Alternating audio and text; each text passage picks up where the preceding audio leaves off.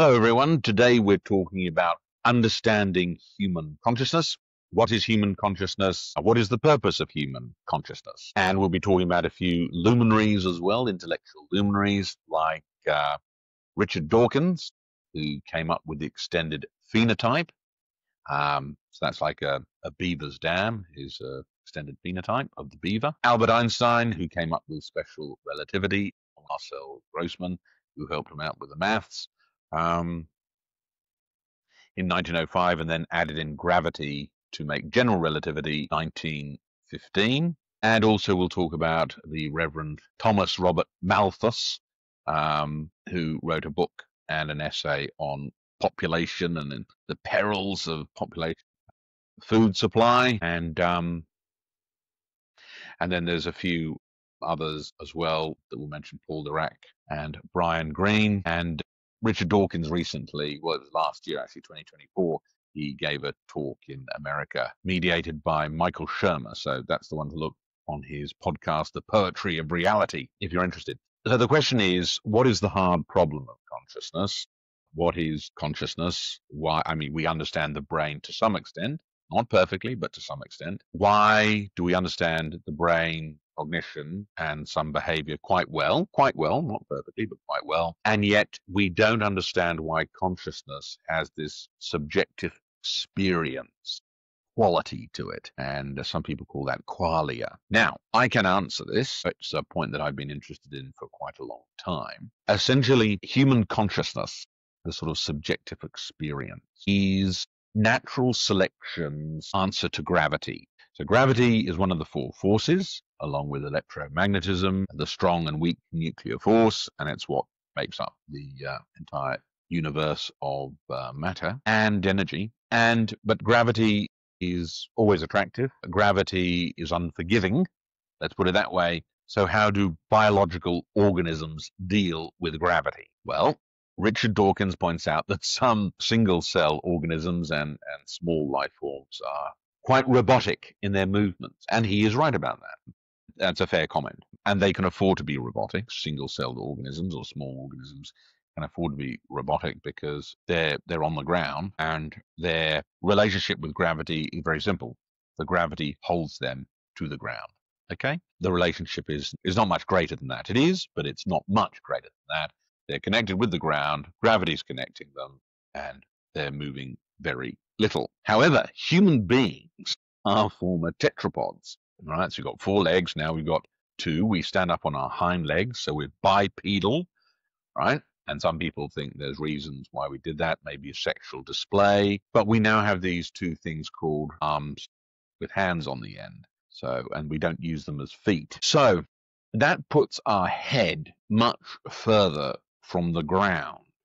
Okay. And human consciousness, as distinct from the consciousness of a horse or another animal that's close to the ground, the human consciousness is far more aware because of it. Okay.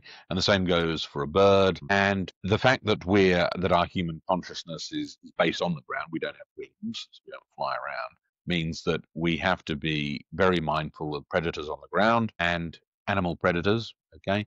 And also gravity itself is a predator as well. It can pull you down to the ground if you overbalance and hurt your head. So human consciousness, the subjective human experience, is basically natural selection's way of letting you deal with gravity on your hind legs, which is not easy. We have massive inputs eyes, ears, nose, touch, taste, the five senses that help us, and it provides vast amounts of information to the to the nervous system and brain. And as a result, we can compute all of that consciousness and hopefully we don't fall over too much. So if you want a, a, full statement, basically what you'd say is human consciousness has evolved through natural selection to deal with gravity. The consciousness, which doesn't just happen in your brain, it's your whole body, but mainly the brain. The human consciousness drives emotions and feelings, and the purpose of those feelings and emotions is to promote and increase brain activity to protect uh, your body, to make decisions that then protect your body. So the purpose of human consciousness is an evolution, as an evolutionary principle from natural selection that is designed to protect you. So human consciousness, consciousness protects you from, is designed to protect you from predators by driving feelings. The, the consciousness drives feelings and emotions in the body, which are biochemical basically. And those feelings are to assist and promote brain activity so you don't forget things. You actually have a feeling that keeps going, especially negative emotions, to basically deal with predators, whether it be animals or uh, some other kind of misadventure or gravity itself. So, not just animal predators, but risks to the body. Okay. And it's very important because we stand up on our hind legs and therefore we have to be more conscious because there's more gravity to deal with. We're less stable on two legs than on four. Okay. And therefore we need more consciousness. So, this brings up another issue, which is where does gravity sit with natural selection? Well, you could say that basically gravity is uh, natural selection, or natural selection is is generated by gravity and the other three forces operating on a biological organism. It's you know if you want an organism to work in gravity, then you, you it must engage in natural selection perfects or adapts over time to deal with those four forces because we can't get rid of those four forces as humans. Therefore, our bodies and that of animals must evolve, must adapt um, as part of it.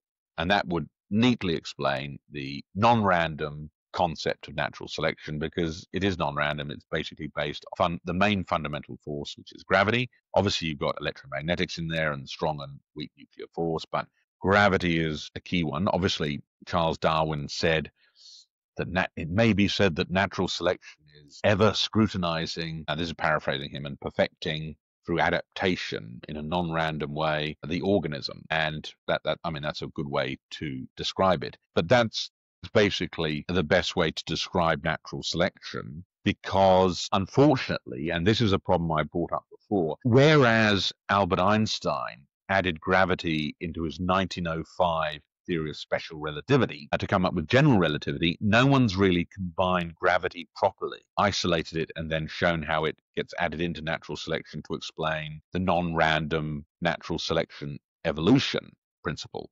And really, you do need to combine gravity in there to explain and to show how it all works, in my opinion. Now, one of the reasons I bring this up apart from the fact that gravity was the missing link to put into special relativity to make general relativity, is also it also feeds nicely back to human consciousness. Albert Einstein's principle of special relativity tells us that time is personal. So you can have two watches set to the same time and then you put them on different people and then they move about in space and then ultimately the watches disagree even though they started at the same time and people were walking around on the same planet so we exist in our own personal time shift. And that also, that concept, uh, even though gravity isn't a part of special relativity, in a simple way, I suppose, um, in relation to time, that that explains why our experiences are subjective. Well, because we experience time as a very personal thing, therefore we disagree on things